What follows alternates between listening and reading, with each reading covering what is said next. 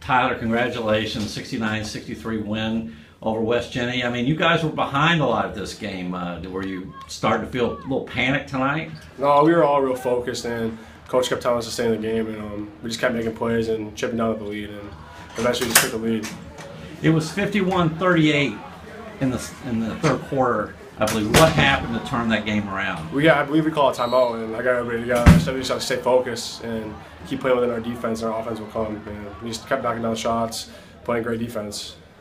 After losing to Aquinas and Henninger, how big is it to come back and then come from behind and win here on the road? It's definitely a statement game because they're one of the best teams in our section, and those two losses really um, put us behind, I guess. But I got our energies back, and we're gonna play the rest of the season.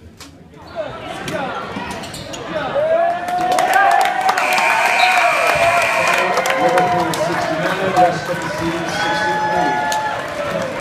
Join us for our next home game on Monday the 11th as the Wildcats host Nottingham.